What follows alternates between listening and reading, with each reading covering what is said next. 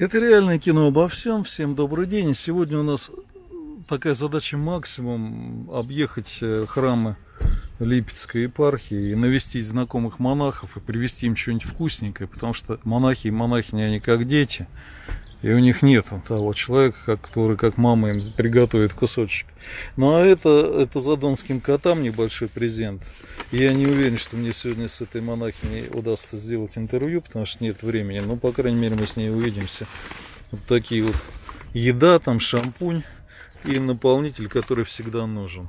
Ну а вот это вот лампадное масло по 3 литра я взял. А, я уже говорил, что на Героев Стратосферы есть такой магазинчик тайный, где это масло продается 645 что ли. Ну, напомню, что у Сергия оно 370 или 380 стоит. Ну, вот как я обещал, а, значит, вот адрес в геопозиции. Это улица Кулибина, 15М. То есть это проехать вот эти, где гробы делают с диванами, объехать это все э, против часовой стрелки. Вот он, где цветы Кулибина 15 м Конечно, котиков много, им надо вести КАМАЗ туда всего. А, ну, почему поддерживали, хотели поддержать их котиков и вот эту вот матушку, которая ими занимается? Потому что она на самом деле между прессом и наковальней. То есть она в мужском монастыре. Держит эту передержку из котов, которых все ненавидят. Ее вместе с ними.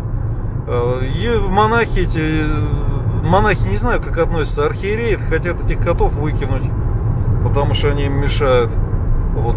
Какого, извиняюсь, перепуга делает женщина вообще в мужском монастыре? Для того, чтобы им всем быть, ну, как бы, в угоду, она очень много трудов делает. Она там ночами в этой пекарне что-то печет, там какие-то экзотические торты там.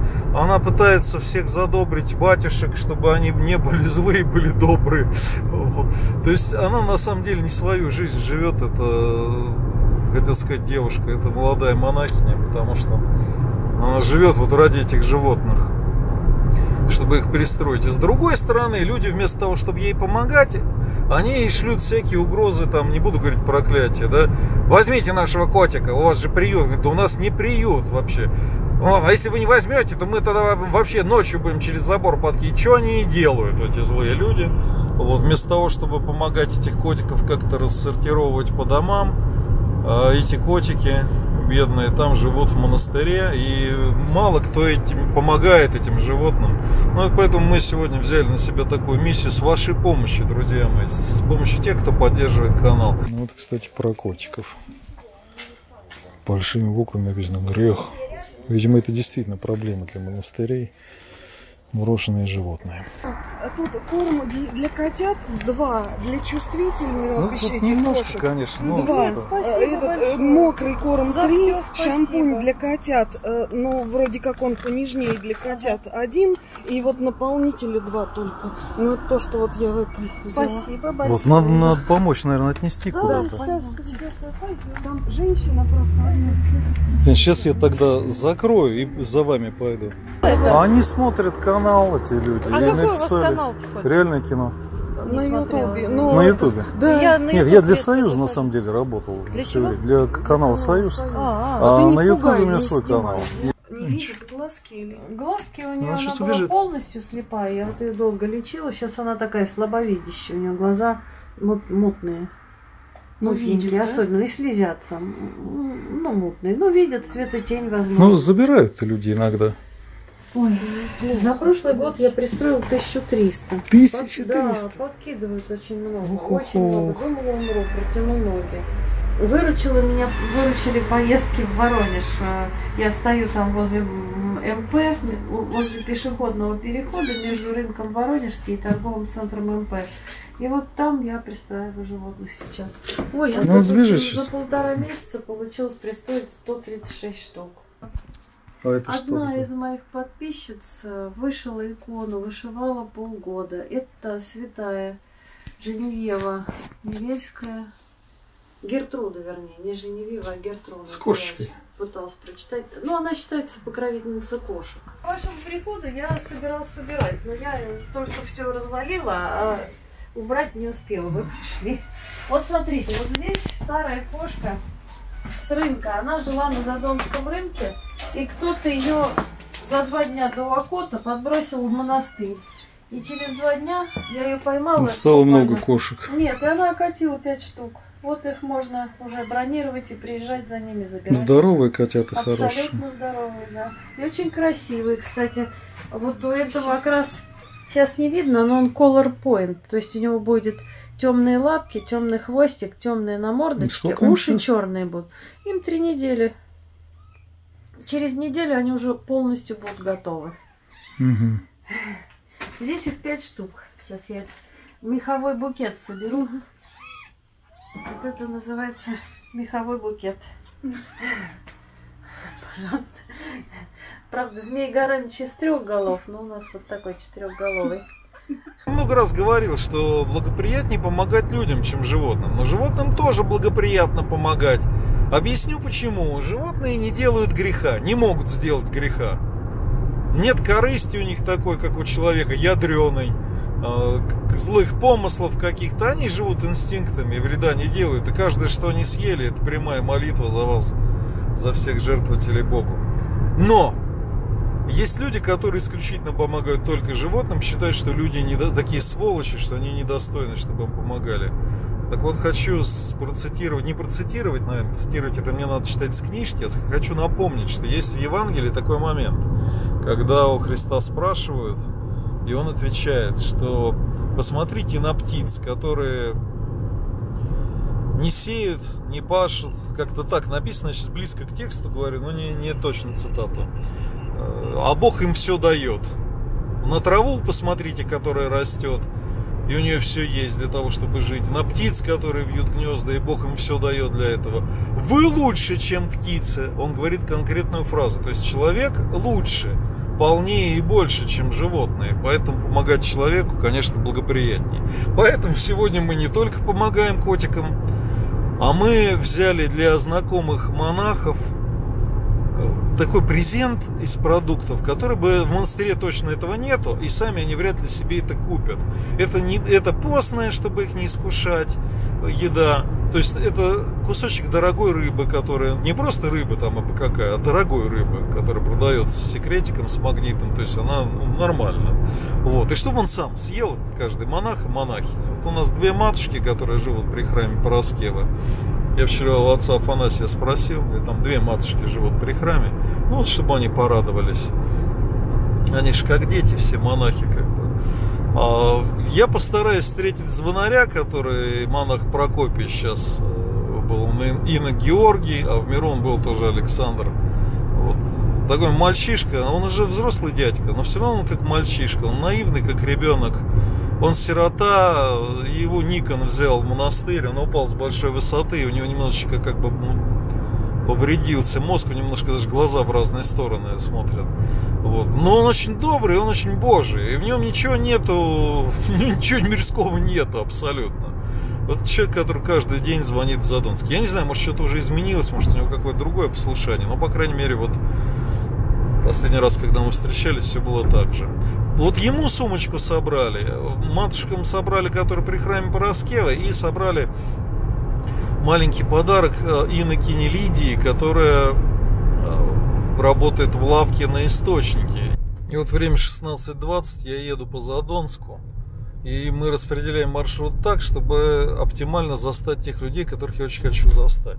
И вот сейчас я покажу часть, когда я зашел в женский монастырь в лавку. Я хотел застать инокиню Лидию э, в лавке на монастырском источнике, где женский монастырь. Но, к сожалению, ее не застал. Там какая-то другая матушка была. Такая, я ее отвлек от чтения псалтыри. Вот, то есть все по правилам, у них там все хорошо. А говорю, а где Иннокене, Иннокене Лидия? Она говорит, она отдыхает после утренней смены, э, в келью идите. Вот, короче, монашеские подарки. Вот такие вот, они все разные. Все разные. Вот это два матушка одинаковые примерно, а вот эти все немножечко разные. Ну, сейчас Иннокене Лидии. Пойдем попробуем вручить, если она тут.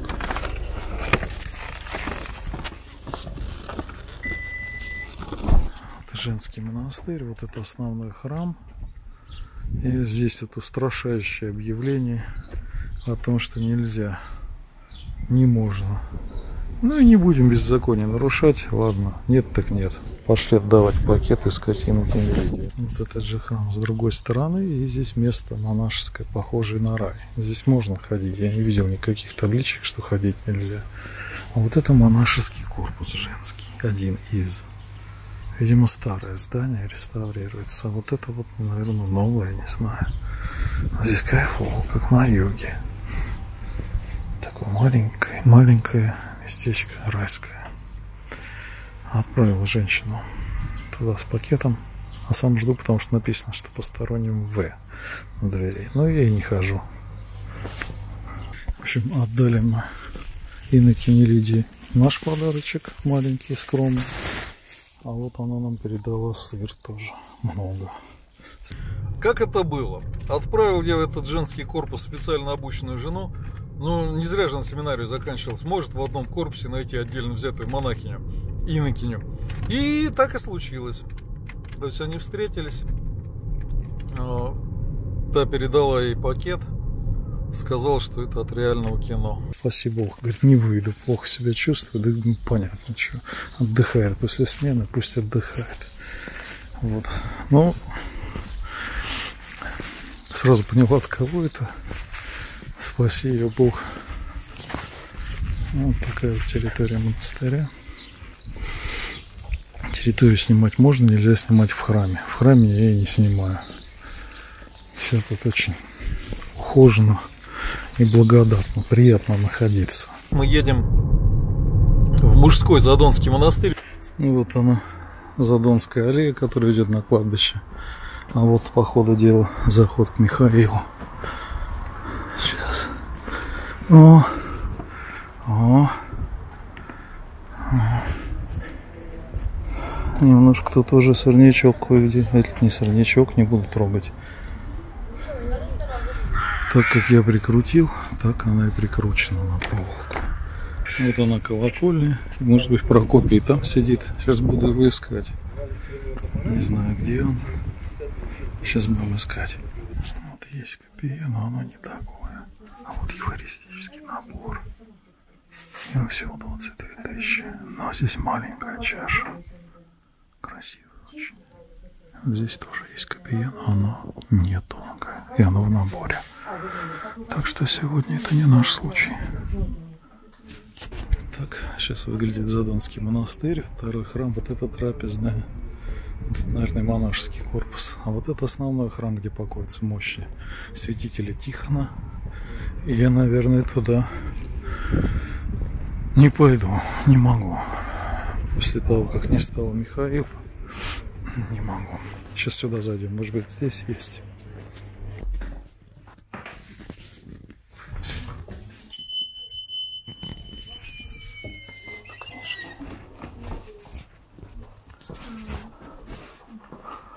Вот. Вот. Сейчас Прокопия встретил совершенно случайно. Иду, думаю, где его искать тут? Идет Прокопий навстречу. Говорит, ты Константин? Я говорю, да нет, я Александр. Ну, я понимаю, столько лет не виделись уже. Когда на колокольню пойдем? И отец Прокопий говорит, тащи саморезы, сейчас будем фотографию прикручивать. О, сейчас, говорит, иди на кладбище, сейчас я приду. Отдал ему пакет. Ну, обрадовался так. Ну, ждем. Сейчас, может быть, подойдет, мы тогда прикрутим. То говорят, нельзя в крест вкручивать ничего. Ну, слушайте, ну давайте вот эти ереси тоже. Вот четыре самореза прикручено. Схемонах. Это отец Аристарх, который со Светланой Копыловой, которого я тоже знал лично. Вот тоже на два самореза вкручено. Поэтому, друзья мои, не с шайбы нам подобрать надо, а так у всех так сделано. Короче, из таких крышечек вот я отрезал резьбу и сделал такие вот плошки, как шайбы. Они будут шайбами, чтобы они прижали портрет и белые были, не нарушали композиции. И прям вот сюда вот мы вкрутим саморез. Вот здесь я уже на, наметил. Вот. Сюда прям саморез вкрутим, они будут функцию шайбы исполнять. Не, шляпка не выходит, все. И такие вот у нас как будто бы шайбочки здесь сверху и снизу. А здесь это отмоется дождями, я думаю, потом. Ну вот.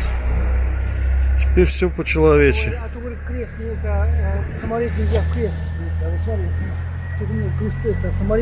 В сам крест, чтобы не вставлять, да? Ну да, ну не знаю, почему. Ну я смотрю, у всех прикручено на Ну, шурупах. это- Значит, все нормально. Так что вот так вот. Ну, кто может сделать лучше, пусть сделает. Я сделал как могу.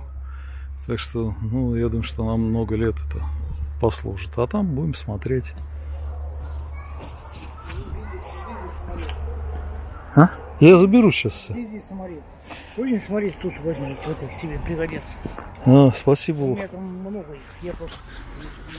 Ну вот так вот она в закатах, в закатных лучах выглядит теперь фотография. Ну, я сделал как мог. Вот сзади уже ничего не мешает теперь. Все. А Прокопий побежал на молитву, он пошел на помазание. Ну вот, до свидания. Святитель тихо.